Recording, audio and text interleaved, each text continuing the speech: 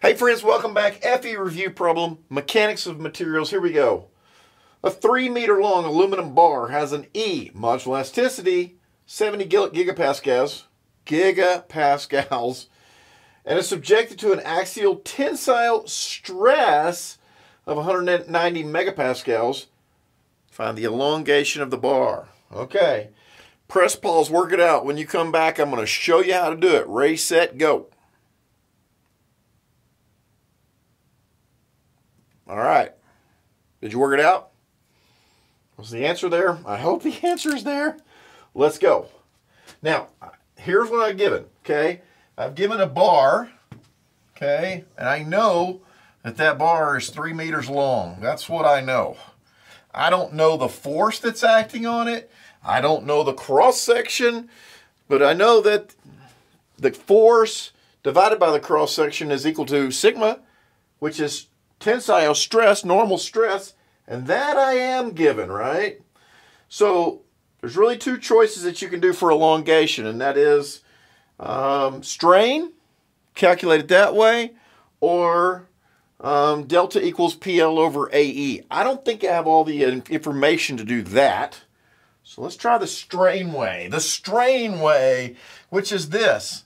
E is equal to rise over run. We need that guy. That's, that's longitudinal strain, okay?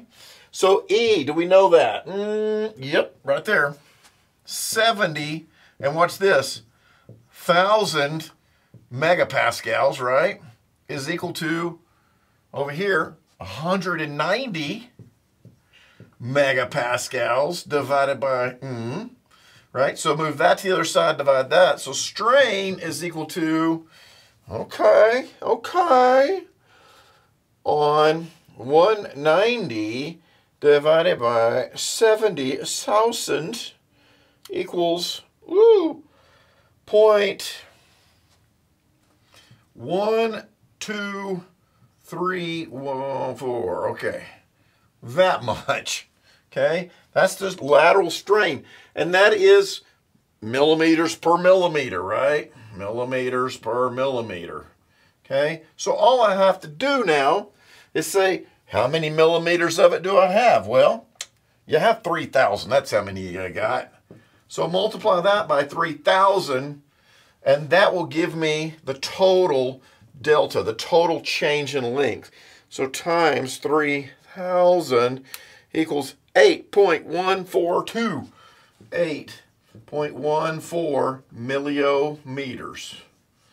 Okay? Please let that be an answer. Nope, nope, nope. Yep, there it is. All right, did you get it?